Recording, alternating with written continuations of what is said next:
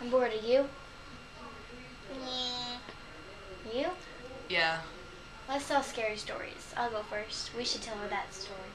I don't think we should tell her that story. Well, she'll put. She won't put the pieces together. What? But she. It's.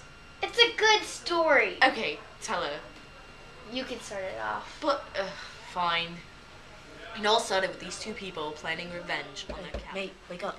Uh, wait, we're not supposed to be talking. I don't care. I have something very important to tell you. Well, what? I'm a spy, and I have orders to kill Captain Line. Well, can I join into it? Because I just I've been planning revenge on him because he killed my family. That's why I came to you. Well, when are we gonna do it? Sunday. By midnight, he'll be dead. Okay. Well, I'll be counting the days. Hey, you! Stop talking to that prisoner. Sorry, mate. Just telling her to go back to sleep. Well, stop making friends with the prisoners. Wait, what happens next? Well, so shall we tell her the rest? Well, we told her that part. All right. Set aside. Is it time yet? Not yet. Just a little bit longer.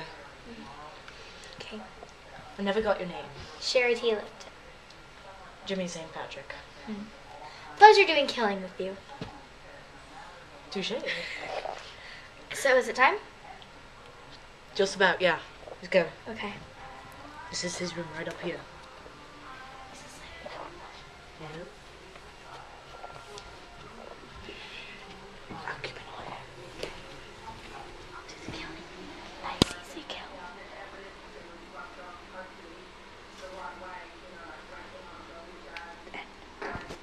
So we killed them?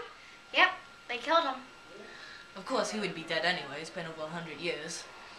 I'll never forget that. I mean, I'll never forget what people told me about the last words what he said to the girls. I'll haunt you. Forever.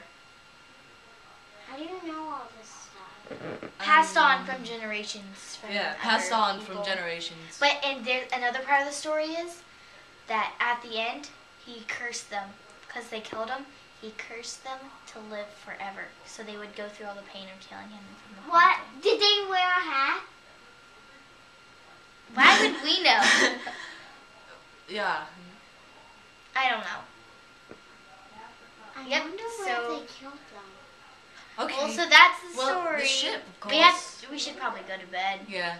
Okay. You know, some people say he still haunts this ship. Good night, everybody. Good night. Good I. Of course he haunts this ship. We never leave it.